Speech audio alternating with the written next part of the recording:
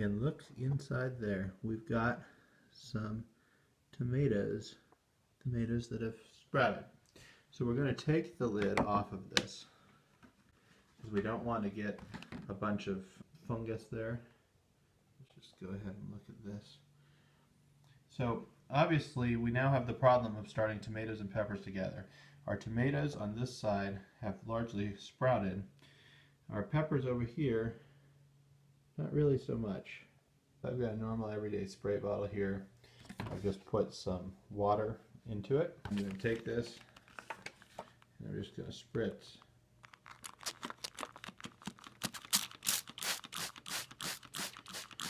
spray so they remain moist.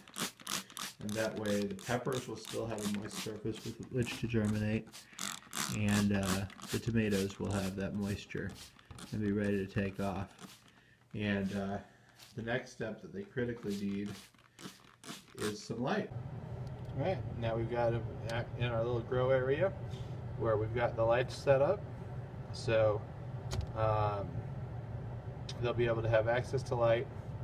Now until this peppers, you know, it's, it's still a little bit cold for me to want to set these right outside. I talked about not going through hardening off by putting them outside, but I think we have an overnight low tonight of 39 degrees. But for right now, I'm going to have them under this light.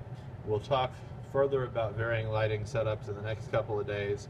Um, but just wanted to give you an update that my seeds have sprouted.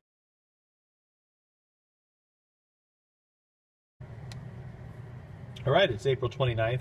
These have been uh, under the lights for a couple days now. Look how much healthier they now look, um, having had the light to grow under. The pepper seeds, it looks like we might just be beginning to see a sprout coming out there. Um, but we'll certainly keep you updated as we continue to grow both the tomatoes and peppers.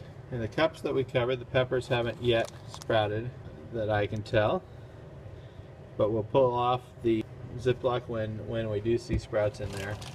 And the tomatoes, I actually messed up a little bit. They're full of, of water at a higher level than I expected, so we'll have to, to see um, on the, the cut-based method there. But anyhow, that's just the quick update for today. Thank you for tuning in.